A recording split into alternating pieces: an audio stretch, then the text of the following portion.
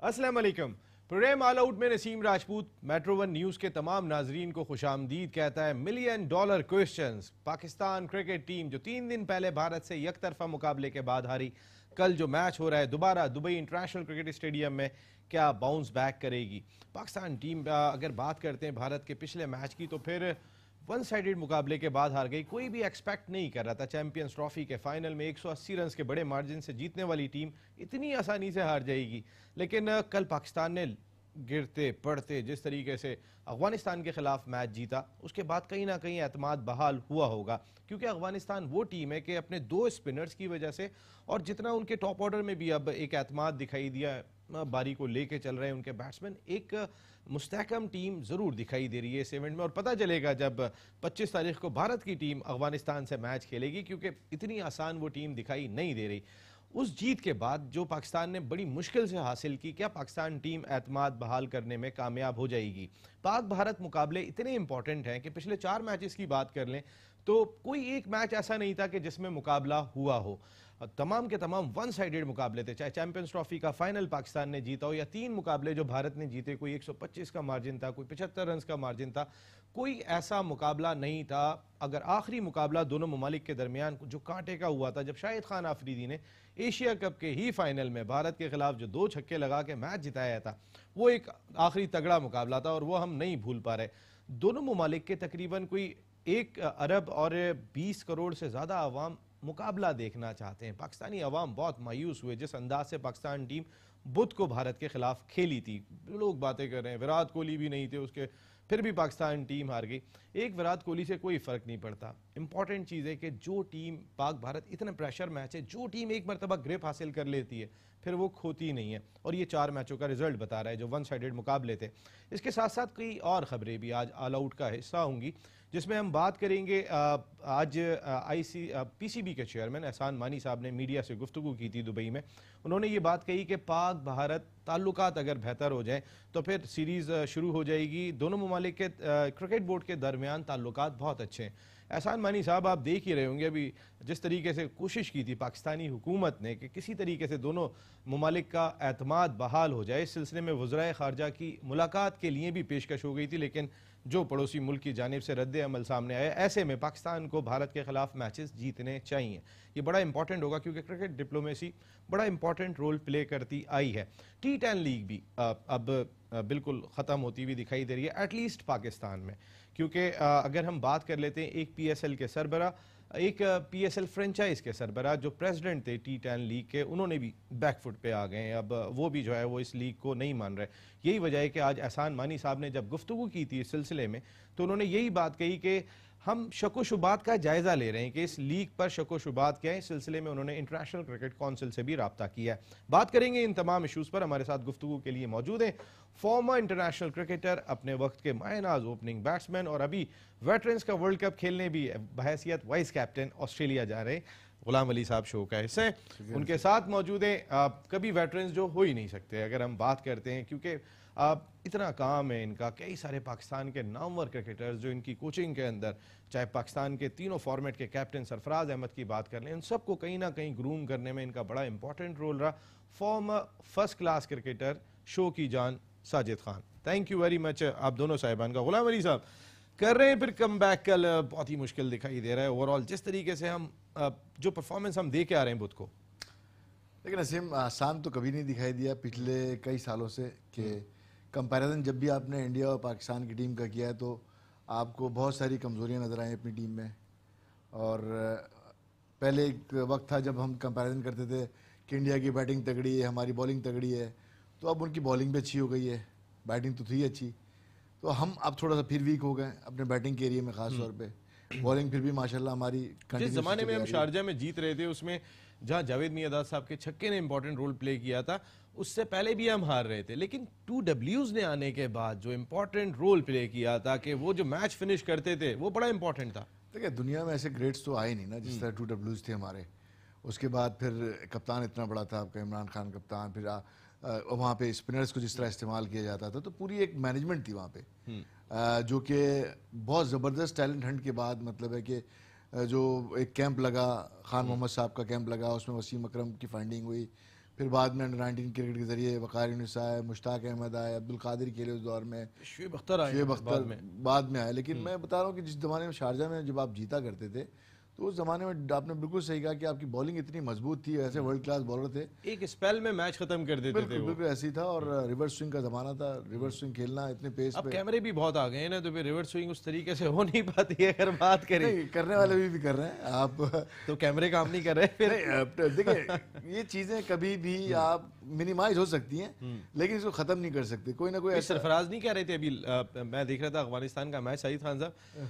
ज़मीन पे मार ज़मीन पे मार के थ्रो कर। मकसद है कि खान को इन सारी चीज़ों का पता हाँ, खान साहब तो समझते हैं ज़ाहिर है। अच्छा एक एक चीज़ मैं शेयर करता चला चलूँ कि जब हमारे मैचेस होते थे ना पीआई के तो ये शाहिद खान बाउंड्री के गिर चक्कर लगा रहा करते थे मैनेजमेंट में होते थे। डिबरी इनकी जेब में होती थी। नहीं नहीं। अच्छा। होता ये था कि किसी अपोजिशन की अगर टीम बॉलिंग कर रही है और रिवर्स स्विंग हो रही हो तो ये बॉल को ना दो तरफ़ शाइन करके फेंक दिया करते थे अंदर। शाहिद खान साहब शाहिद खान साहब बाउंस बैक कर रहे हैं नहीं कर रहे हैं? क्या लग रहा है आपको? बड़ा मुश्किल मुझे तो मुश्किल दिखाई दे रहा है। जिस तरह हम अफ़गानिस्तान के खिलाफ जीते एतमाद आया जीत एतमाद देती है। लेकिन अगेंस्ट इंडिया जिस तरह हार के आ रहे हैं हम आठ विकेट से आ रहे थे 43.1 ओवर में ऑल आउट हो गए थे। ऑल आउट जाना होगा देखिए नसीम बात ये जो आपने इंट्रो दिया जिसमें गुलाम अली साहब बात कर रहे हैं पाकिस्तान क्रिकेट टीम बहुत लैक बैटिंग देख लें बॉलिंग देख लें फील्डिंग देख लें तीनों शोबों में उस तरह की कारकर्दगी नहीं दिखा रही जिसमें हम बहस कर सकते हैं। अल्हम्दुलिल्लाह अल्हम्दुलिल्लाह कल सौ ओवर मैच हुए और नामुमकिन को मुमकिन बनाया और एक वक्त में तो हम नौ विकेट कैसे हम नामुमकिन तो इस तरह था। देखिए एक बॉल हमारे हाथ से मैच निकल गया था। 200 200 हाँ, जितना स्कोर हाँ, हो गया था। देखिए एक एक वक्त में हमारे हाथ में गिरिप आ गई थी जो अब अगर इमाम की बात करें बाबर की बात करें 160 रन की पार्टनरशिप नौ विकेटों से हम मैच जीत रहे थे। और जिस तरह इमाम रन आउट हुए हैं बाबर आउट हुए हैं और जिस तरह अगर हाँ यहाँ राशिद खान साहब का ज़िक्र ना करें और दुनिया क्रिकेट में एक ऐसा बॉलर आया है सबसे मुश्किल बॉलर होता है राइट एंड ब्लैक में महँगा होता है। मगर उसने कोई फुल टॉस नहीं करी कोई शॉर्ट पिच नहीं करी उसका कमांड देखें पचास ओडिया में सौ विकेटें और उसने कमांड हासिल करा मैच के दौरान। ये वक्त आ गया है कि साजिद खान साहब के अब अफगानी प्लेयर भी हमें घुरियाँ करा रहे हैं। मकसद है कि यूँ यूँ यूँ और जितने स्टाइल हैं उनके चल रहे हैं। ये वक्त भी आ गया है लेकिन full credit Afghanistan cricket team और full credit to Pakistan cricket जिन्होंने अफ़गानिस्तान को बनाने में बड़ा इंपॉर्टेंट रोल प्ले किया। आज भी आके वो पिशावर में मैचेस खेल रहे होते हैं। कराची में आके वो रमज़ान टूर्नामेंट खेल के गए। उसके बावजूद जो है वो अ, इंडिया की जानब झुकाव थोड़ा सा ज़्यादा रखते हैं। देखिए जे खे, खेल की खूबसूरती यही है और जिस तरह का मैच हुआ है और इस मैच की तो पूरी दुनिया में इसकी बहुत हाइट बढ़ी। चौदवा अगर एशिया कप की बात करें सौ ओवर होना किसी भी मैच में और बॉल टू बॉल जिस तरह बॉल हुआ है। और एक दफ़ा फिर सेकंड इनिंग में हमेशा मैंने आपकी कहना चाहिए क्रासिस शोएब मलिक का ज़िक्र ना करूँ और हमेशा उस मौके पे काम आता है। फ़र्स्ट इनिंग में ये इतनी लंबी इनिंग नहीं खेलता मैच विनिंग इनिंग नहीं खेलता मगर जिस तरह कल शोएब मलिक खेले और जिस तरह शोएब मलिक लेके चले मगर उसके साथ साथ अगर दो लड़कों का ज़िक्र ना करो तो मज़ा नहीं आएगा। और हसन का ज़िक्र ना करो जिस तरह उसने छक्का मारा आकर और जिस तरह हसन ने कॉन्फिडेंस उसमें नज़र आया है। ये टीम की गुड लक है आने वाले मैच के लिए और बहुत सी चीज़ें सीखेंगे। चार कैच छोड़ने के बाद जिस तरह आप लोग गुलाम साहब बात कर रहे थे रिवर्स स्विंग के हवाले से इस मौजूदा बॉलिंग में कौन रिवर्स स्विंग कर रहा है? बॉलिंग कोच अजहर महमूद की नाहली कहूँगा।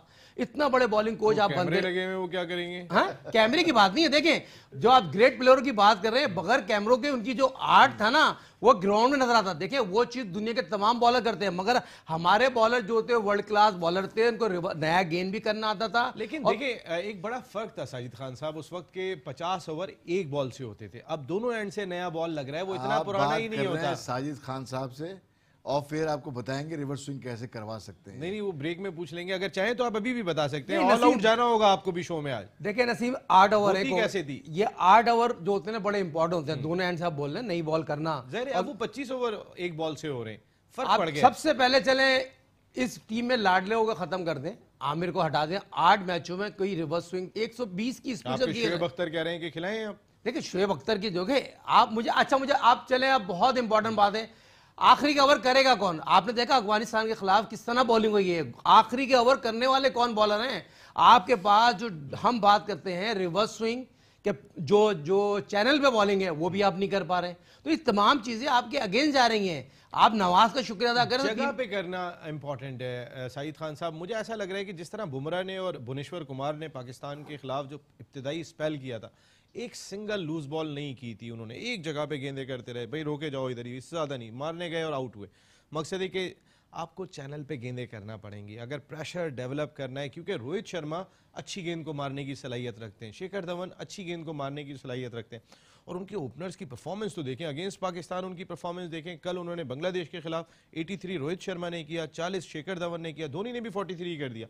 तो फॉर्म उनकी बहाल हो रही है सबकी। देखिए आप जो बात करें ना पहले बॉलिंग की आपने बात की ना कि चैनल बॉलिंग तो जितनी हेल्पफुल विकेट नहीं होती ना जब बॉलर्स के लिए तो आप बहुत डिसिप्लिन होना पड़ता है आपको। आप मार्जिन नहीं देते बैट्समैन को कि वो आपको बाउंड्री लगा सके। आप उसको मेंटेन रखने की कोशिश करते हैं कंटेन रखने की कोशिश करते हैं और वहाँ आपको थोड़ी बहुत मूवमेंट भी मिल जाती है। जब आप एक एक कंटिन्यूसली एक चैनल पे बॉलिंग कर थोड़ा प्रेशर तो डाले ना एक जगह पे दूसरी उसको, हाँ उसको मारने जाने दूसरी बात ये है कि ये हमें रियलाइज़ करना पड़ेगा शारजा एक मुख्तलिफ़ पिच है। दुबई की और आपको अबू धाबी की जो ग्राउंड है और पिच है ये आपको अलाउ नहीं करती कि आप वहाँ फ्री हिटिंग करें। आपको अगर कोई बॉलर बॉलिंग कर रहा है तो आपको बड़ी मेहनत से रन बनाने पड़ रहे हैं। है। आप उठा के देख लें जितने भी रन बन रहे हैं बहुत फ्रीली नहीं बन रहे अनलेस कि आप बहुत बुरी बॉलिंग करें और आपको चौके या छक्का लगे लेकिन अगर आप अच्छी लेंथ पे बॉल करें तो आपको इतना आसान नहीं हो रहा तो वहाँ मनूवरिंग करनी है। आपने सिंगल्स पे जाना है आपको प्लेसमेंट करनी है उसके लिए भागना है गर्मी बहुत ज़्यादा है। तो कल जिस तरह पाकिस्तान ने बैटिंग की है ना अ, मैं बिलीव नहीं कर रहा था कि इतनी मेहनत से खेलेंगे पाकिस्तान टू बी ऑनेस्ट क्योंकि इतनी मेहनत करने की हमारे लड़कों को आदत है नहीं। कल बहुत मेहनत से रन बनाए और बहुत अंडर प्रेशर लग रहे थे सरफराज। टीम थोड़ी सी अंडर प्रेशर लग रही थी जिस तरह फील्डिंग की कि जू जू रन जब बोर्ड पे बढ़ते चले जा रहे थे ना अफ़गानिस्तान के तो पाकिस्तान को ये लग रहा था कि अब हमारी मेहनत बढ़ती चली जा रही है। लेकिन जिस तरह मेहनत की आपके इमाम ने आपके बाबर ने मलिक ने जो मेहनत की है इस रन को टोटल को चेज करने के लिए। मैं समझता हूँ कि बहुत क्रेडिट जाना चाहिए और इनको ये याद रखना पड़ेगा कि इन पिचेस पे आपको फ्री हिट नहीं मिलेंगी आपको। फ्री शॉट्स नहीं मिलेंगे। आपको लूज बॉल का वेट करना होगा वेट करना पड़ेगा और सिंगल पे आप रनिंग बिटवीन द विकेट आपको प्लेसमेंट आनी चाहिए आपकी रिस्ट वर्क होना चाहिए। अगर रनिंग बिटवीन द विकेट की बात करें क्योंकि पहले मैच में मैं बात करूँ इंडिया के खिलाफ शुएब मलिक रन आउट हो गए थे। लेकिन इस मैच में इमाम रन आउट हो गए। लेकिन सिंगल्स जिस तरीके से बाबर आज़म ने और शुएब मलिक ने अगेंस्ट इंडिया लिए थे उस प्रेशर को काफ़ी हद तक कम कर दिया था। उन दोनों में से कोई एक बड़ी इनिंग खेलता वो मैच बड़ा इंटरेस्टिंग होता। इतफाक़ की बात है कि दोनों जो है वो एक साथ आउट हो गए। शुएब मलिक रन आउट हो गए थे। वो लेकिन रनिंग बिटवीन द विकेट जो इंपॉर्टेंट प्रोस्पेक्ट है वो अ, इन पिचेस पे खास तौर पे कि जहाँ पर आपको फ्री हिटिंग नहीं करने को मिल रही। तो पाकिस्तान ने बुरा नहीं खेला। नसीम बात ये कर्फ्यू टाइम जो था वो टाइम अब रिलैक्स हो गया। है लड़के अपने कमरों में नहीं थे। रिलैक्स क्रिकेट खेलना चाह रहे थे शॉर्ट तो क्रिकेट दौर में रिलैक्स होती थी तो जब ही तो खेलते थे हमने कर्फ्यू देखिए लगा के वो तो मुश्किल आप देखें ये जो क्रिकेट की बात हो रही है बहुत इंपॉर्टेंट बात हो रही है। तलत अली हैंडल सही नहीं कर सक रहे लड़कों को। और जिस तरह पाकिस्तान के बैट्समैन पहले मैच की अगर बात की जाए आप जिस पे डिपेंड करते हैं फ़कर पे। और फ़कर पे जितनी डिपेंड आप कर रहे थे जिस तरह सबने कहा हुआ था हमने भी कहा था आई थी चैंपियंस जो सौ किए हैं जिस तरह उन्होंने बैटिंग की है और इमाम ने जिस तरह बैटिंग की है इस तरह थोड़ी क्रिकेट खेली जाती है। ये तो कोई भी टीम होती है गड्ढे में खोल दे उन्होंने फेंक दिया टीम को। इस तरह भाई प्लानिंग बहुत इंपॉर्टेंट है। आपकी टॉस जीतने के बाद आप बुनियादी सही नहीं रह सकते। आपको मैच लेके चलना ही नहीं है। जाके हालाँकि बाबर ने और शोएब मलिक अच्छी पार्टनरशिप लगाई थी मगर उसके बाद आपने क्या किया? इतने कम स्कोर पे। हालाँकि इतना ब्रेक हो रहा था दुबई में। मगर बात क्या हो रही है? आपके हाजिर दिमाग नहीं दुबई में ब्रेक हो रहा था या दुबई में कुछ और हो रहा था? मैं एक वैसे आपसे जानना चाहूँगा। वैसे ही जो बॉडी लैंग्वेज हमने कल भी पाकिस्तान टीम की देखी अगेंस्ट इंडिया भी हमने बॉडी लैंग्वेज देखी थी। इंडिया जो आ, सोने की चुड़िया है इंटरनेशनल क्रिकेट काउंसिल के लिए वो चाह ही नहीं रहा था कि वो अबू धाबी मैच खेलने के लिए जाए। मैं वैसे ही एक लोग बात कर रहे हैं ये कि पाकिस्तान टीम की बॉडी लैंग्वेज अगेंस्ट इंडिया का जो मैच था वो आपको हंड्रेड परसेंट लगी। देखिए नसीम स्क्रिप्ट 2011 वर्ल्ड कप आपको धोनी की कप्तानी नज़र आया होगा जिस तरह धोनी ने वर्ल्ड कप स्क्रिप्ट कह रहे हैं आप इसको ये बात कह रहे हैं। आप देखें एशिया कप जिस तरह हो रहा है और जिस तरह इंडिया ने हर चीज़ को अपने हाथ में रखा हुआ है। अलग होटल में ठहरे हुए हैं दूसरे एक जगह ठहरे हुए अफ़गानिस्तान अपने पैसों से अबू धाबी में ठहरे हुए हैं पाकिस्तान ट्रेवलिंग करके बस में वहाँ जा रही है। तो हर चीज़ पे उन्होंने अपना आपको ग्रिप रखा हुआ उनका ग्रिप बहुत वो ग्रिप उसी सूरत में बड़ा इंपॉर्टेंट चीज़ मैं आपको बता रहा हूँ।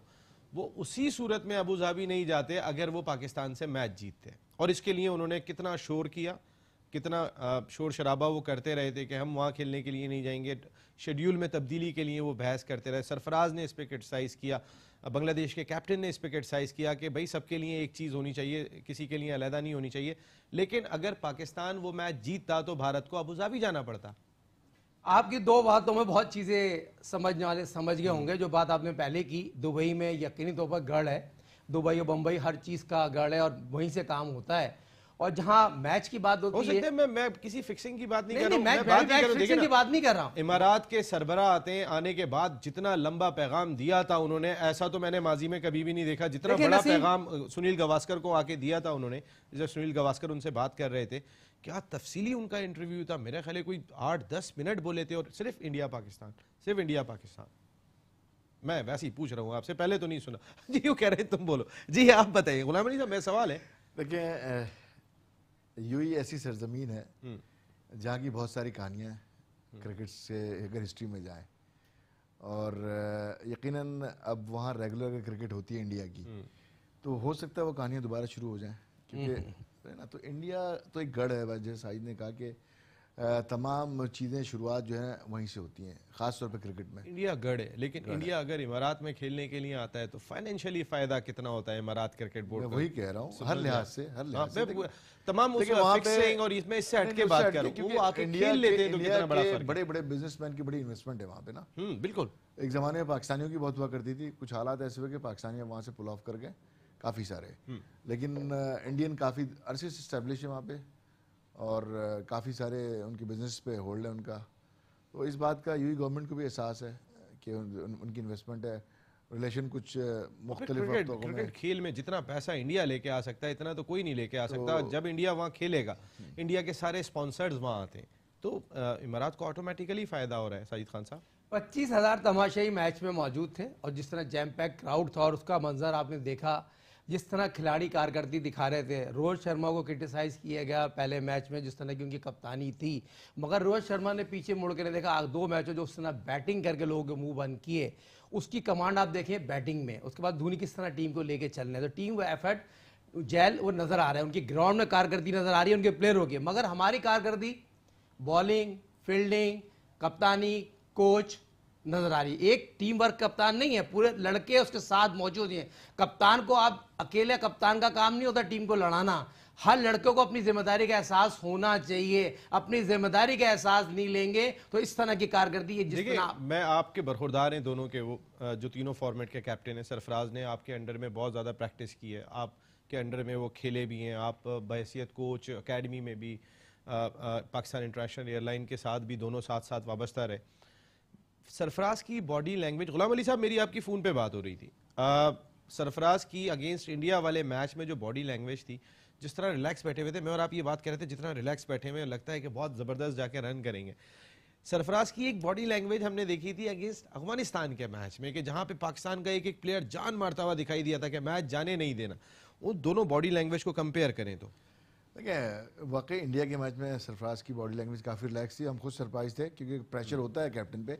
लेकिन काफ़ी रिलैक्स है। लेकिन उस मैच के बाद जब ये मैच खेलने पाकिस्तान टीम आई है तो सरफराज मार्जिन देने को तैयार नहीं थे अपने। टोटली डिफरेंट टोटली डिफरेंट किसी भी प्लेयर को वो इवन मैंने शुएब मलिक को भी जब बॉलिंग करवा रहे थे शुएब मलिक को भी वो शाउट कर रहे थे कि शुएब भाई एक लेग स्टंप पे गेंद थी जो चौका लग गया था। हाँ, तो शुएब भाई वो, वो जो अंदाज है हाँ, उनका। वो वो किसी को स्पेयर करना नहीं चाह रहे थे जो कि एक कप्तान चाहता है कि कहीं रिलैक्स ना हो लड़के फिर उसके बाद हमने देखा जब टोटल 250 प्लस हुआ तो वहाँ पे सरफराज की जो हमने चेहरे पे एक परेशानी देखी ना, और एक तकलीफ़ देखी नज़र आ रही थी, क्योंकि तो देखिए कप्तान है और आप देखें मीडिया तो चलो नहीं है, लेकिन सोशल मीडिया इस वक्त जितना एक्टिव होता है ना, और मैं तो हमेशा कहता हूँ कि टेलीफोन को तो आपको ड्यूरिंग टूर आपको फेंक देना चाहिए, बंद कर देना चाहिए, अगर आपको क्रिकेट पे पूरी तरीके से फोकस करना है आपने खेलना है तो सोशल मीडिया को आपको यूटिलाइज नहीं करना चाहिए ना उसको खोलना चाहिए। अगर आप चाहते हैं कि आप अ, अच्छे फ्रेम ऑफ़ माइंड से रिलैक्स होकर क्रिकेट खेलें। सरफराज नहीं देखते। इंडिया के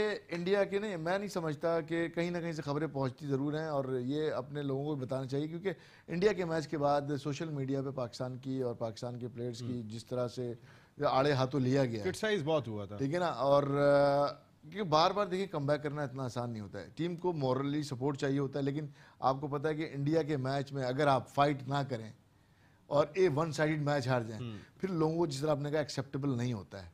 क्योंकि ये एक दिन ये अभी फिर भी लोग एक उम्मीद लगा के ये बैठे हुए नहीं क्योंकि उसकी वजह है ना नसीम आपने किया हुआ माजी में। किसी दिन आप आसमान पे किसी दिन आप ज़मीन यही। तो कह रहा हूँ कि तो लोग हमेशा आपसे उम्मीद करते हैं कि आप आसमान पे रहेंगे। चूँकि पाक भारत क्रिकेट ज़्यादा नहीं हो रही है तो रिसेंट पास्ट में जितने मैचेस हुए हैं दोनों ममालिक के दरमियान उसमें मार्जिन बहुत मुख्तलिफ़ दिखाई दिया बहुत बड़ा मार्जिन दिखाई दिया चाहे चैंपियंस ट्रॉफी का फाइनल पाकिस्तान टीम 180 के मार्जिन से जीती हो, या फिर पाकिस्तान टीम 43.1 ओवर के अंदर आउट हो गई और आठ विकेट से परसों मैच हार गई। इसके साथ साथ और भी अगर आप चीज़ें देखेंगे तो पिछले चार मैचेस में कहीं रिज़ल्ट 125 रन से था, कहीं छिहत्तर रन से था, कहीं पिचासी रन से था। कहने का मकसद ये है कि दोनों ममालिक के दरमियान चूँकि मुकाबले नहीं हो रहे तो फिर फाइट नहीं हुई। इसका मकसद ये है कि जो टीम मैच एक मरतबा ग्रिप करती है, वो फिर छोड़ने का नाम नहीं रहती। हम उम्मीद करते हैं कि कल पाकिस्तान टीम मैच में अपनी ग्रिप साबित करेगी। लेकिन कॉम्बिनेशन क्या होना चाहिए टीम का? ब्रेक के बाद। ऑल आउट जाना होगा। पाकिस्तान क्रिकेट टीम को अगर भारत के खिलाफ फतह हासिल करनी है ऑल आउट में एक मरतबा फिर आपको खुश आमदीद कहते हैं। पाकिस्तान टीम पिछले मैच में 43.1 ओवर में ऑल आउट हो गई। तो फिर अब ये कुछ पाकिस्तान के बॉलर्स को भी करना होगा, क्योंकि रिसेंट पास्ट में दोनों ममालिक के जो मुकाबले हुए, उसमें एक तरफा मुकाबले रहे। रिज़ल्ट जो आया था, उसका मार्जिन बहुत ज़्यादा दिखाई दिया। गुलाम अली साहब इस मार्जिन को कम कैसे करें और फिर कॉम्बिनेशन क्या खेलना चाहिए? क्योंकि हम एक चीज़ देख रहे हैं बाबर आज़म और शुएब मलिक के बाद मिडिल ऑर्डर बैटिंग में वो डेप्थ दिखाई नहीं दे रही। क्या आसिफ टी ट्वेंटी के ज़्यादा बेहतर प्लेयर हैं ओडीआई से अगर कंपेयर करें वैसे ही मेरे जहन में सवाल आया। देखिए आसिफ की जब सिलेक्शन हुई थी वनडे क्रिकेट के लिए मैं सरप्राइज़ था। और मैंने बारह प्रोग्राम्स में इसका ज़िक्र किया कि इसकी सिलेक्शन कैसे हो गई वनडे क्रिकेट में। इसकी अगर हिस्ट्री देखें जो वनडे करियर है इसका डोमेस्टिक का सिर्फ़ एक सेंचुरी इतने सालों में। ठीक है? और कोई ऐसी परफॉर्मेंसेज डोमेस्टिक में हमें याद नहीं है कि आसिफ अली इतने इंपॉर्टेंट रहे ये एस हमारे लिए बहुत इंपॉर्टेंट है ना जो वहाँ परफॉर्म कर दे उसको सब जगह खिला दो। आप टी ट्वेंटी क्रिकेट में आपने खिलाया उसको बहुत अच्छा किया उसने प्रूव भी किया गया उसको सही लेकिन वनडे क्रिकेट देखें ये एक क्रिकेट ऐसे लॉन्ग लंबे दौड़ने का खेल है। इसमें आपको सिचुएशन के हिसाब से कंडीशन के हिसाब से आपको बैटिंग और इस वक्त जो कंडीशंस चल रही है उसमें तो बारी लेनी है मिडिल ऑर्डर ने। जो है टुल्लेबाज नहीं है कि आप आए बिल्कुल लोअर ऑर्डर के आपको खिलाया जा रहा है नंबर पाँच। नंबर पाँच बैट्समैन की एक अहमियत होती है हम्म। उसकी एक वैल्यू होती है उसकी विकेट की एक वैल्यू होती है। आप अपनी विकेट की वैल्यू नहीं करते आप। हम्म। ठीक है ना आप आते हैं उस अंदाज में खेलते हैं तो मैं मेरे हिसाब से देखें आपको थोड़ा सा अगर हम अगले साल वर्ल्ड कप का प्लान देखें तो आप आसिफ को नहीं देखते उस प्लान में? आ, मेरा नहीं ख्याल कि आसिफ आ, आ, को होना चाहिए इस प्लान में। आपको ये दो आपके ऑलराउंडर है शादाब और फ़हीम अशरफ। इनसे आसिफ का काम अगर आप लेना चाह रहे हैं उसको उनकी उनके ज़्यादा लंबे शॉट्स की प्रैक्टिस कराएँ उनकी जो स्लॉगिंग है उसको तगड़ा करें मज़बूत करें। हसन है ये तीन हाँ, बहुत अच्छे हो जाते मतलब इनको आप इस्तेमाल करें नीचे के लिए जहाँ स्ट्राइक रेट आपको बाकी आपके जो छह बैट्समैन होते हैं ना इंक्लूडिंग सरफराज को आप कह लें वो आपके मेन जान होने चाहिए। फखर आपके पास एक प्लेयर है ऐसा जो जिस दिन खेल गया उस दिन वो सबके लिए आसानियाँ कर देगा। लेकिन असल प्रॉब्लम कब आएगी? जिस दिन वो खेलेगा? नहीं। जिस दिन वो खेलेगा नहीं नहीं। तो पिछले दो मैचों में तो नहीं खेले हाँ तो आपको मेहनत करनी पड़ी ना। तो फकर जिस दिन नहीं खेलेगा उस दिन आपके लिए इतनी मेहनत नहीं है। लेकिन जिस दिन वो नहीं खेलेगा फिर आपको सही मानों में प्लान करना है कि अब हमने करना क्या है। उसके लिए आपको प्रिपरेशन करनी तो आप शान मसूद को लेके गए ना आप भाई आपको। आप कब से करा तो करा आप रहे हैं कि हारिस सुहेल हारिस- दोनों को बाहर करें। आप बिल्कुल आप हारिस की बॉडी फिटनेस लेवल कैसा लगा? हारिस सुहेल का मुझे मायूसी टू बी ऑनेस्ट वो तो कैसे फिटनेस टेस्ट पास करके चले गए? इंटरनेशनल देखिए 17 प्लस कैसे ले गए वो? कितने भी फिटनेस टेस्ट पास कर लें असल आपका टेस्ट ग्राउंड में होता है। जो कैच ले रहे थे उसमें पूरा झुक नहीं सके थे। आप उसके अलावा जो उसकी जो बॉडी लैंग्वेज है ड्यूरिंग बैटिंग भी आप देखें तो वो एक जो वनडे के लिए आपको एजिलिटी चाहिए ना। जो मनूवरिंग करने का और भागने का वो उसके अंदर चीज़ नज़र नहीं आ रही। या तो वो खुद अपने ऊपर काम नहीं कर रहा या वो समझता है कि मैं गुड इनफ हूँ समझे ना? क्योंकि मैं गॉड गिफ्टेड हूँ मैं तो कर ही हाँ, लूँगा तो रन आपको देखें शान मसूद एक मेहनती प्लेयर है। आप उसको लेके गए हैं तो अगर बाबर आज़म को आप थोड़ा सा एडजस्ट करें चार नंबर पे शान मसूद को अगर वन डाउन ले आते हैं या पाँच पे आ जाते हैं छह सरफराज पे पे आ जाते हैं तो आपको देखिए वर्ल्ड कप से पहले आपको कॉम्बिनेशन ट्राई करने पड़ेंगे। आपको प्लेस बनानी पड़ेगी लोगों के लिए। इसी तरह आपको मिडिल ऑर्डर में एक दो लड़के आपके जो डोमेस्टिक के तगड़े लड़के हैं जो मुसलसल रन बना रहे हैं उनको तैयार करना पड़ेगा। आपका ये मिडिल ऑर्डर आपका इंग्लैंड में नहीं चलने वाला। चले अभी तो हम एशिया कप की बात करते हैं। जो मिडिल ऑर्डर की बात करें साजिद खान साहब हारिस सुहेल और आसिफ दिखाई दे रहे हैं। क्या आसिफ आपको ओडीआई के बैट्समैन लगते हैं? और दूसरी चीज़ ये कि अगर हारिस सुहेल ने जिस तरह अभी एक ही मैच में हमने मौका दिया, इंडिया का मैच उनको मिलना चाहिए। लेकिन अगर शान मसूद को तीन पे लाते हैं, चार पे बाबर आज़म को लाते हैं, पाँच पे शुएब मलिक आते हैं, जो हम बात कर रहे हैं कि डैप दिखाई नहीं दे रही मिडिल ऑर्डर में। देखिए, अगर मैच जीतना है तो इस प्लान से आपको जाना पड़ेगा। और जिस तरह आपने बात की, बाबर की बात कर रहे हैं और शान मसूद एक ऐसा प्लेयर है जिसने रिकॉर्ड ब्रेक किया है गुड फील्डर है और उसको इनिंग लेके चलने आती सीज़न में करके आ रहे हो। इंपॉर्टेंट बात आप करते हैं जो आदमी पिच पे खड़ा होना जानता है जो सिंगल डबल निकालना जानता हो बदकिस्मती से हम सिंगल डबल तो उनसे भी नहीं निकलते नहीं वैसे। नहीं देखें निकालेगा मगर आपने फकर को एक यहाँ पर रख लिया है। और फकर यहाँ पर नहीं हो। फकर जो है कौन सा प्लेयर है कौन सा ऐसा ओपनर है जो दूसरी बॉल में सुई मारने चले जाता है। जब आपकी पावर प्ले का इस्तेमाल करना ना है जब आपके बॉल बैट पहना है आप कैच छोड़ दें और टीम आप पे डिपेंड करती हो फिर आप मायूसून कारकर्दगी दिखाएँ तो ये चीज़ें आपको नज़र आती हैं। जब बैटिंग रिसेंट पास में अगर फखर की आप परफॉर्मेंस नहीं, नहीं, नहीं, देखें, फखर ने आपकी बैटिंग लाइनअप खड़ी की है। देखिए देखिए जो सच्चाई है वो माने। जिम्बाब्वे वाली बात नहीं कर रहे देखिए अगर आप जीत के आ रहे हैं तो उसमें फखर देखिए की वो बैटिंग पास का हो गया है नसीम भाई दुनिया ही क्रिकेट में आपने रहना है इंटरनेशनल क्रिकेट हो रही है आप दो मैचों के बाद तो- में बात हो रही है। दो- देखिए जो मैच हम इंडिया पाकिस्तान का मैच होता है ना। सईद खान साहब दो मैचों के बाद आप कैसे किसी को रेट कर सकते हैं? वो कल मैच में अगर सौ कर देते है। यही तो यही तो चीज़ चाहिए जज्बा किससे कहते हैं? कोई कोच कोई ऑफिशियल किसी ने गले में हाथ डाला किसी ने उसको समझाया आपको किस तरह खेलना चाहिए किस तरह लेके जाना चाहिए ये बहुत इंपॉर्टेंट चीज़ होती है। आपको क्या नहीं लगता कप्तान जितना कप्तान ने इस टीम को बनाने में जान लगा दी आज वो फुल टॉस पे भी बोल जाता है खुद इतना प्रेशर ले रहा होता है। लेकिन टीम बना दी सरफराज ने पाकिस्तान। की तो बात ही नहीं हो रही है। तो सरफराज कॉन्फिडेंस नहीं देता होगा वो सरफराज तो बहुत ज़्यादा देता है सरफराज की तो आप देखें सरफराज ने जिस लड़के को खिलाया उसने कारकर्दगी दिखाई है। मगर आप बात करें कोच की मिक्की की वो किस तरह का कॉन्फिडेंस देता है? कॉन्फिडेंस ये देते हैं बत्तीस जिसकी एवरेज हो छह ग्यारह सेंचुरी हो हफीज ने आपका बारीक काम कर दिया डंके की चोट पे आपकी लड़ाई की होती है आपको टीम में सिलेक्ट नहीं करते। आप कोच जो है जिसको चाहता है सिलेक्ट करता है जिसको चाहता है बाहर ख्याल में हफीज को टीम में होना चाहिए। हंड्रेड परसेंट होना चाहिए कौन लेके चलेगा टीम को? आईसीसी चैंपियंस ट्रॉफी जीते 75 रन बनाए हफीज ने उसके बाद आपको वहाँ लेके जाते हैं जिम्बाब्वे आप उसको बिठा देते हैं। बात क्या हो रही है? मेरिट की बात साहब आप पाकिस्तान के कल्चर को बहुत अच्छी तरह जानते हैं। आपको ये पता है कि कौन कहाँ पे किसकी टांग खींच सकता है कौन कहाँ पे जो एक टीम वर्क बना हुआ है उसको नुकसान पहुँचा सकता है। मैं हफीज की बात नहीं कर रहा लेकिन आप उन कैरेक्टर्स को जानते हैं। इस वक्त जो टीम यंगस्टर्स की वजह से खड़ी हुई दिखाई दे रही है आप ये चाहते हैं कि किसी एक ऐसे प्लेयर को लाने के बाद हम वो तोड़ दें वो जो सिलसिला है उसको खत्म कर दें। देखिए, दो चीज़ें ऐसी हैं जो ऑन रिकॉर्ड में बोल सकता हूँ। एक हफीज की बात करूँगा, एक अम्मात वसीम की बात करूँगा। जो डंके की चोट में कोच अपनी तनतना मनमानियाँ करता है और ये चीज़ खत्म होना चाहिए। जो पाकिस्तान के बेस्ट प्लेयर हो ना, उनको आप खिलाएँ। किसी एक की टीम नहीं है, पूरे पाकिस्तान की टीम है। इस कोच की प्रॉब्लम क्या है? जिसकी एक अगस्त की, के खिलाफ हो गया, सुहेल खान के खिलाफ ये हुआ है। और बहुत से ऐसे प्लेयर हैं जिससे खास तौर पर ये पर्सनल हो जाता है। अहमद शहजाद उमर अकमल देखिए उमर अकमल अहमद शहजाद ने पाकिस्तान की क्रिकेट में वो काम किया बड़ा शुक्र अलहमदुल्ला उनसे जान छुटी है। उस पर पाकिस्तान क्रिकेट बोर्ड ने और पाकिस्तान ने नौ साल उस पर तबाह किया है उन्होंने पाकिस्तान के लिए कुछ नहीं करके दिया। अब जो आने वाली लाड है ना, इसमें बहुत अच्छे प्लेयर हैं। अब भी मौका है पाकिस्तान के जो कप्तान है सरफराज को सपोर्टिंग की ज़रूरत है। सरफराज अकेला नहीं है, पूरे ग्यारह लड़के टीम में लेके चलेंगे। अपनी रोल प्ले करेंगे तो आपकी टीम बहुत पॉजिटिव होगी। गुलाम अली साहब, मैं यही जानना चाहूँगा, जैसे अभी हफीज़ का टॉपिक छिड़ गया, बहुत सारे लोग सोशल मीडिया पे भी खबरें चल रही होती हैं। कोई अमेरिका से बात कर रहा है, कोई कहीं से बात कर रहा है।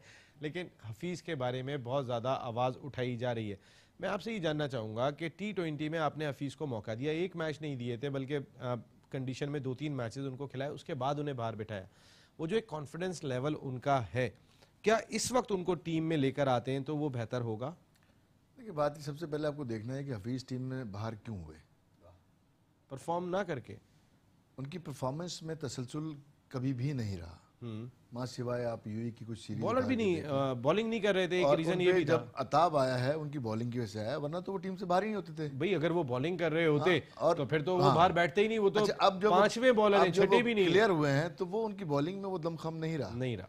बैटिंग में आपको बैकबोन होना चाहिए आप वो भी नहीं रहे ठीक है ना? कभी आप मतलब आप ट्रस्ट नहीं कर सकते उनपे ना। तो मे बी मैनेजमेंट ने काफ़ी खिलाने के बाद डिसाइड किया कि भाई अब हम किसी और को आजमाएँगे या किसी और को देखना चाहेंगे क्योंकि अब भरोसा नहीं रहा। बेसिकली असल बात ये है भरोसा रहना। एतमाद नहीं रहा। एतमाद नहीं रहा। दूसरी बात ये है कि जो अम्माद वसीम की बात की साजिद साहब ने भी। इमाद वसीम का तो फिटनेस का इशू आ रहा है लेकिन अब अगर फिट होते तो पता नहीं वो उनका नाम होता नहीं उनको तो वेस्ट इंडीज से बुला लिया था। ठीक है ना?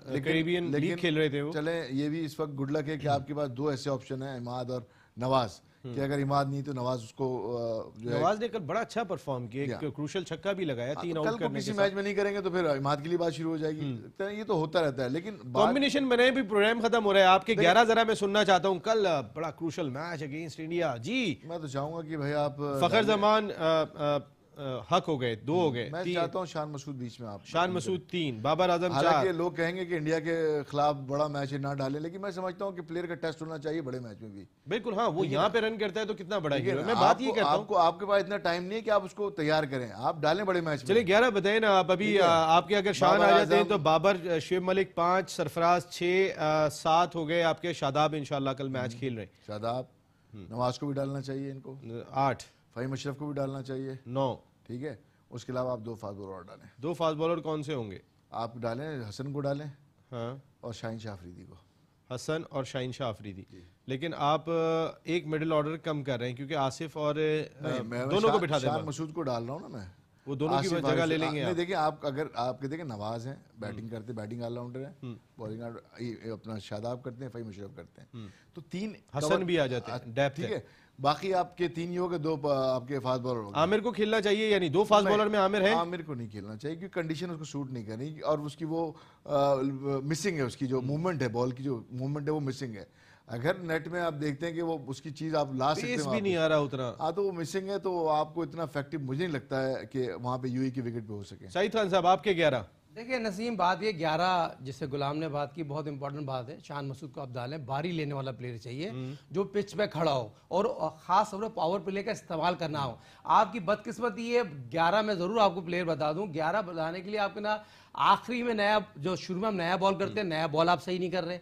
आखिरी के जो आखिरी के ओवर है उसमें भी आप सही ओवर नहीं कर रहे बैटिंग की पार्टनरशिप आप सही नहीं कर रहे मिडिल में एक दो पार्टनरशिप हो रही है उसकी आपकी बुनियाद रखी जा रही है। मगर अगर आप कारकर्दगी जो पाकिस्तान क्रिकेट टीम की हम बात कर रहे हैं अगेंस्ट इंडिया देखिए ये जज्बे का खेल ये दिमाग का खेल है। ऊपर से एक चीज़ मैं ज़रूर यहाँ मैसेज देना चाहूँगा। साजिद भी कहना चाहेंगे देखें सरफराज कप्तान है उसके गिट टीम खेलनी चाहिए बैटिंग में।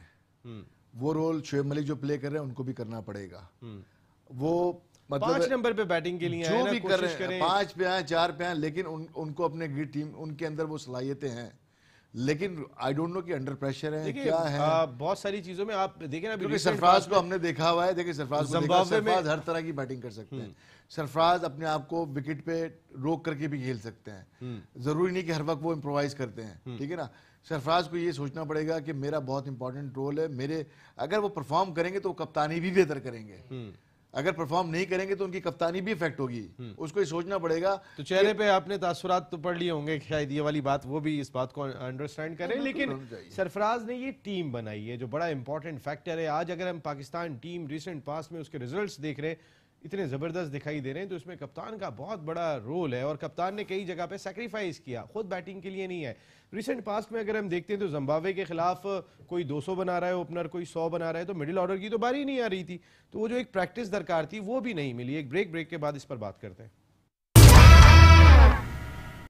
ऑल आउट में एक मरतबा फिर आपको खुश आमदीद कहते हैं, पाक भारत टाकरा। सालों के बाद होता है, महीनों के बाद होता है तो फिर सबको उसका इंतज़ार होता है। लेकिन चाहे भारत हार जाए तो फिर एक अरब आवाम जो है, वो अफसरदा हो जाते हैं और पाकिस्तान हार जाए तो फिर 20-22 करोड़ जो हमारे अवाम है वो अफस- अफसरदा हो जाते हैं लेकिन लड़ना नहीं दि- लड़ाई दिखाई नहीं दे रही दोनों टीमों के दरमियान वो फाइट दिखाई नहीं दे रही है। ऐसा क्योंकि मैचेस बहुत ताखिर के बाद होते हैं तो फिर जो टीम ग्रिप कर जाती है वो फिर ग्रिप कर जाती है। साजिद खान साहब कल हम ग्रिप कर रहे हैं और आपके 11 मुझे नहीं पता चले कि वो 11 कौन है। आपके फास्ट बॉलर मुझे बता दें।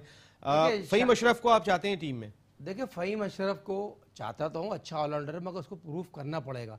मगर कल आपने देखा डेब्यू टर्न में आफरीदी ने शाहिन आफरीदी ने कितनी अच्छी बॉलिंग की। उसकी रिवर्स स्विंग भी नज़र आती पेस भी नज़र आ रही। तो इस तरह के बॉलर की ज़रूरत है पाकिस्तान क्रिकेट टीम। को 130 की पेस वाले मोहम्मद आमिर की ज़रूरत नहीं है। आमिर साहब का जो चैप्टर है पिछले आठ मिनटों में कोई विकटें नहीं थी। तो आप आप ही चाह रहे हैं कि शनवारी और आफरीदी दोनों खेले? बहुत अच्छे बॉलर है। देखिए दोनों ने प्रूव किया है। शर्वानी ने जितनी उसकी तारीफ़ की है कम है। जिस तरह बॉलिंग कर रहे हैं जान से बॉल कर रहे हैं। और ये है पाकिस्तान क्रिकेट टीम अगर जान से गेन करेगी शॉर्ट ऑफ़ लेंथ गेन करेगी तो इंडियन को आउट कर सकती है आउट करने की सलाहियत है। सबसे बड़ी कि आपको इंडिया को आउट करना है खासकर उनके दोनों ओपनर्स को। दोनों इन फॉर्म है। रोहित शर्मा की फॉर्म बहाल हो गई है हमने ही वो बहाल की है जिस तरह उन्होंने बैटिंग की। शेखर धवन मुसलसल रन स्कोर कर रहे हैं। सेंचुरी भी इस, इवेंट में वो स्कोर कर चुके हैं। आप बॉलिंग बढ़ाना चाह रहे हैं आपकी बातों से लगा दो फास्ट बॉलर तीसरे हसन हो जाएँगे चौथे फ़हीम अशरफ हो जाएँगे और दो स्पिनर नवाज़ और अ, अ, शादाब। देखिए, शादाब पे ड्यू है। अगर वो आपको बेस्ट ऑलराउंडर बन रहे हैं आईसीसी चैंपियंस ट्रॉफी जिसने उन्होंने बॉलिंग की थी और काफ़ी अरसे से इंडिया खिलाफ जो अच्छी कारकर्दगी दिखाता है, वो हीरो बन जाता तमाम फार्मेट की क्रिकेट खेलने की एबिलिटी मौजूद है। मगर अब उन पर एक ऐसा मैच आ गया है। कल अगर हंड्रेड परसेंट वो फिट होते हैं और जिस तरह राशिद खान का मिसाल देते हैं अफ़गानिस्तान के बॉलर की तो उनको भी इस तरह की कारकर्दगी दिखानी पड़ेगी जो हम लैक कर रहे हैं। पाकिस्तान का कोई ऐसा बॉलर उभर के सामने है जैसे हमने यासिर शाह की हमेशा बात की यासिर शाह ऑफ़ कलर हो गए थे क्योंकि अगर यासिर शाह को खिलाएँगे तो शादाब पे प्रेशर आ जाएगा। चलो आपने शादाब को शादाब बैटिंग भी करके दे हाँ तो बैटिंग करता है यही तो मैं आपको बताना चाह रहा हूँ आपको शादाब को कॉन्फिडेंस दिया है। आप शादाब से काम लेने का वक्त है शादाब को प्ले करने का वक्त आ गया है। आप हसन अली जो पाकिस्तान का बहुत टैलेंटेड फास्ट बॉलर है वो रिवर्स स्विंग करना जानते हैं और चैलेंज पे बॉलिंग करना जानते हैं। आपकी बातों से मुझे ऐसा लगा कि छठे मिडिल ऑर्डर बैट्समैन की ज़रूरत नहीं है ये काम सरफराज को करना चाहिए और जो आपकी लोअर ऑर्डर है उसको मज़बूत कर लो फ़हीम अशरफ को शादाब को। अ, आप इन करो नवाज़ हो जाते हैं हसन हो जाते हैं तो फिर आपका ये लोअर ऑर्डर जो है ये काम कर लेगा। आप ये कह रहे हैं? भाई एक चेंज होगी बहुत से वो जो मेरे अपने जराए बताते हैं बस ज़्यादा चेंजिंग नहीं होगी इस टीम में एक चेंज नज़र आ रही है वो भी हो सकता है शादाब की शक्ल में आ जाएगा शादाब किसकी जगह पे आएँगे? आसिफ की जगह आसिफ की जगह पर आएँगे। तो फिर फ़हीम अशरफ की जगह क्यों नहीं बना रहे हैं आप? देखिए फ़हीम अशरफ की जगह इसलिए नहीं बन रही। फ़हीम अशरफ बहुत अच्छे ऑलराउंडर है हैट्रिक भी बना चुके हैं और जिसमें टैलेंट है बेहतर ऑलराउंडर मगर कॉन्फिडेंस की बात आ रही है। इस मैच में कॉन्फिडेंस की बात है। इंडिया पाकिस्तान का जो मैच होता है नफ्स काबू वाला मैच होता है। जो हमने कारकर्दगी पिछले मैच में दिखा दी है उस तरह की कारकर्दगी हम खुदा ना खासा दोहरानी हमने उनसे मैच लेना है। मैच ऐसे कोई नहीं लेता। आपको बहुत तो आपकी नीचे बैटिंग जो है वो तगड़ी हो रही है फ़हीम की सूरत में। आपके छह बॉलर आपके खेल रहे हैं। बड़ा फ़र्क पड़ जाता है। आपकी बॉलिंग डिपार्टमेंट भी इम्प्रूव हो रही है और आप क्या उसमें वो सारी झलक दिखाई नहीं देती गुलाम अली साहब फ़हीम अशरफ में के जो रज़ाक आने वाले वक्त में। शान मसूद को अगर आप डालते हैं तो शेब मलिक पांचवे पे आते हैं ठीक है ना? पाँच आपके बैठे सरफराज छे। सरफराज छे शादाब सात। शादाब सात नवाज़ आठ फ़हीम अशरफ नौ। और ये नौ गए। दस। तो फिर आपका एक फास्ट बॉलर हाँ, खेल रहा है। शाहीन शाह अफरीदी की बात करूँ देखिए यूई की आप यानी कि फिर शनवारी नहीं है। यूई की पिचेस पे आपको बॉलिंग कॉम्बिनेशन ऐसा बनाना पड़ेगा। आप ज़्यादा फास्ट बॉलर आप डाल के इतना कुछ हासिल नहीं कर सकते। आपको ये दो ऑलराउंडर जो स्पिनर ऑलराउंडर है आपके शादाब हम्म। और नवाज़ इनको आपने रखना है ठीक है? उसके बाद आपने तीन फास्ट बॉलर रखने हैं। फ़हीम अशरफ शाहिद खान साहब ने बड़ी इंपॉर्टेंट फ़हीम अशरफ की मैं यूँ बात कर रहा हूँ फ़हीम अशरफ एक अच्छा आप प्रूवन ऑलराउंडर है। उसको आपने कॉन्फिडेंस दे के रखना है उसको मेन तो प्लेयर सरफराज का बहुत भरोसा है। मैं मैं वही कह रहा हूँ वही कह रहा हूँ फ़हीम अशरफ ने जिस तरह बॉलिंग इंप्रूव की है जिस तरह बैटिंग इंप्रूव मेहनती बहुत है। मेहनती है। आपके पास ऐसा ऑलराउंडर आपने अभी तक कोई तैयार किया रिसेंट ठीक में नहीं है। तो आपको उसको ड्रॉप नहीं करना चाहिए। मैं समझता हूँ उसको हर सिचुएशन में डालना चाहिए। उसको हर डाउन टू मैच खिलाड़ी है देखिए सईद खान साहब ने एक बड़ी इंपॉर्टेंट बात कही। जी। हम टॉप ऑर्डर हम आउट नहीं कर पा रहे हमारे जो नए बॉलर हैं उनसे आउट नहीं हो रहा। हांगकांग में भी वो नज़ाकत जो है रन आउट हो गए थे। अगर बात करें वरना शुरू में वहाँ भी विकेट नहीं मिल रही थी हमें। आखिरी डेप्थ ओवर में बॉलिंग कौन करेगा? और हसन। ऊपर से एक हसन करेगा दूसरा कौन है? शाहिन शाह अफरीदी भी डेथ ओवर में अच्छी बॉलिंग करते हैं स्लो ऑन करते हैं। आपको इस तरह का बनाना पड़ेगा कि ये आखिरी के ओवर्स ये कर सकें। शाहिन शाह और आपके हसन अली। आखिरी जो छः ओवर है कम अज कम वो ये कर सकें। बाकी आपका फ़हीम अशरफ को आपको एक- थ्री स्पेल्स में लाना पड़ेगा फ़हीम अशरफ को। क्योंकि अगर फ़हीम अशरफ को आपने लंबा स्पेल करा दिया तो फिर वो मैं नहीं समझता कि वो तीसरे स्पेल में या दूसरे स्पेल में वो इतने इनको बीच बीच में लाना पड़ेगा फ़हीम अशरफ को। आपको नवाज़ को शादाब को अटैक करना पड़ेगा मिडिल में ताकि उनकी मिडिल की विकटें आप ले सकें या इनिशियली जो भी है।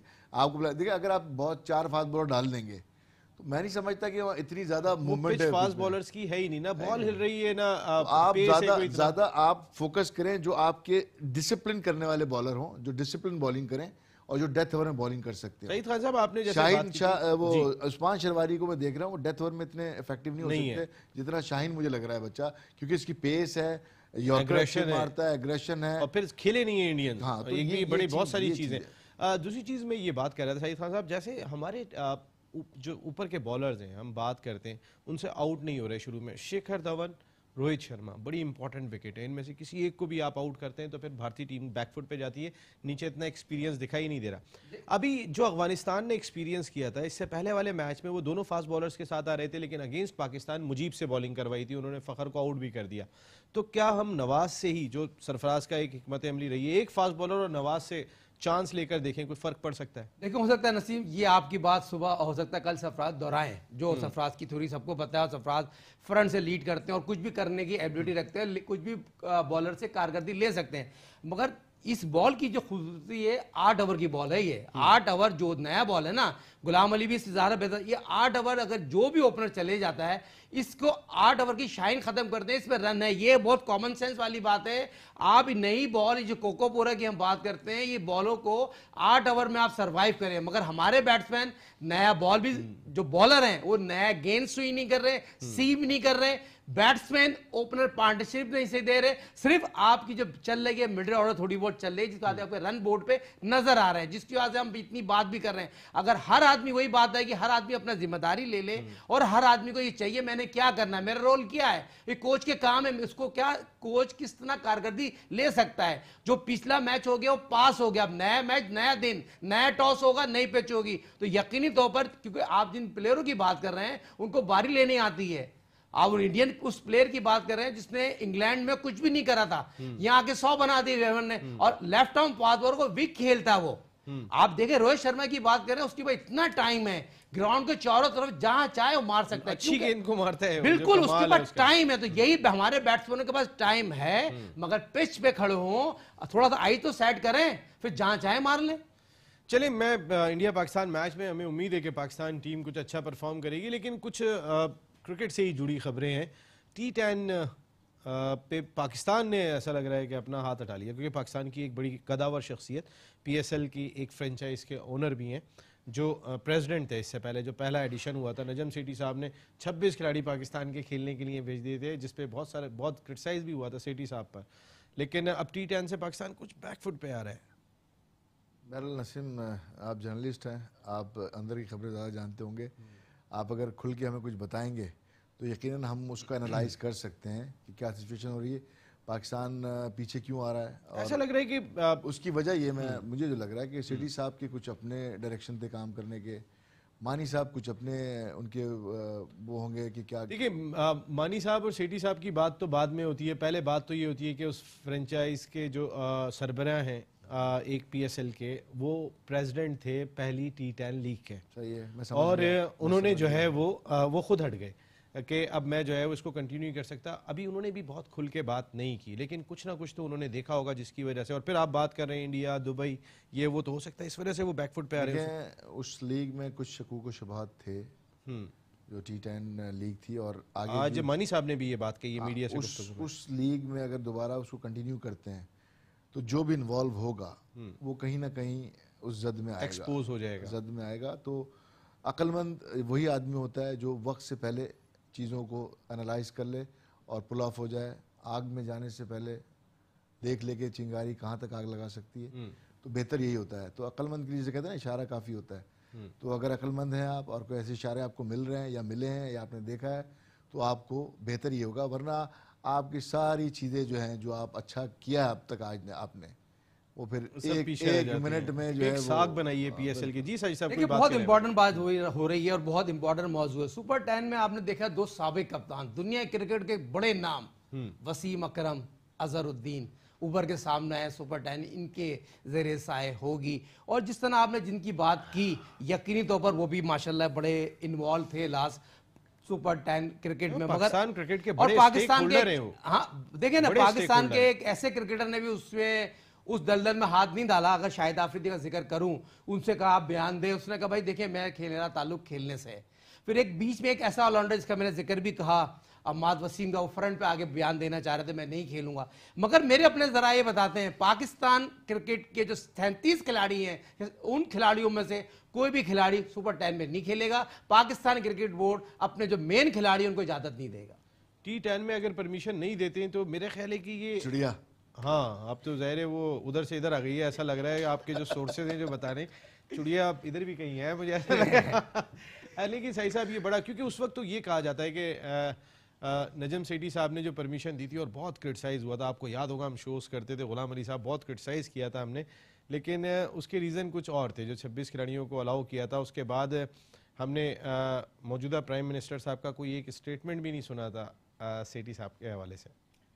हाँ देखिए बात यह है कि इस वक्त जो मौजूदा प्राइम मिनिस्टर उनके टास्क बड़े लंबे लंबे टास्क हैं और वो टाइम को जो है वो अपना उन्होंने मैनेज किया हुआ है। लेकिन बड़ी खूबसूरती से लेके चल रहे हाँ, हैं इमरान खान साहब जिस तरह ग्राउंड में लीड करते थे ऐसे ही लीड करते हुए दिखाई दे रहे हैं। जो पड़ोसी ममालिक हैं उनसे अच्छे ताल्लुकात के ख्वाहिशमंद हैं और अब चाहे कोई भी हो वो इसी जानब देख रहा होता है कि पाकिस्तान से ताल्लुक बेहतर होने चाहिए। कोई लीडर चाहिए अल्लाह करे कि जो सिमत में वो जा रहे हैं अल्लाह उन्हें सक्सेस दे कामयाबी दे ये इस मुल्क की बहुत ज़रूरत भी दिखाई दी थी गुलाम अली साहब thank you very much and thank you very much Sajid साहब आप ऑल आउट का हिस्सा बने आप ही का ऑल आउट है ये अगर हम बात करते हैं क्योंकि आप ही ऑल आउट जाते हैं पाकिस्तान को भी ऑल आउट जाना होगा अगेंस्ट इंडिया एक चीज़ में एक स्टैट्स मुझे याद है उस मैच का जो हमें नहीं दोहराना है वो ये कि पाकिस्तान टीम 43.1 ओवर में आउट हुई थी पाकिस्तान टीम ने दो गेंदें खेली थी. उनमें से 169 बॉल्स पाकिस्तान डॉट बॉल्स खेला था. तो आ, अगर कोई टीम अपनी पहले बैटिंग कर रही है और 62 परसेंट डॉट बॉल्स खेल जाए तो फिर उसकी जीतने के चांसेस नहीं होते। स्ट्राइक रोटेट करना होगा, जो आपने किया अगेंस्ट अफ़गानिस्तान कॉन्फिडेंस आपका बहाल हुआ है। Wish you a very good luck green shirt अब शाहीनों की परवाज़ ऊँची होनी चाहिए। या नसीम राजपूत ऑल आउट की पूरी प्रोडक्शन टीम के साथ चाहता है इजाज़त। कल फिर आपसे मुलाकात होगी और फिर पाक भारत टाकरा। अल्लाह ने के बाद।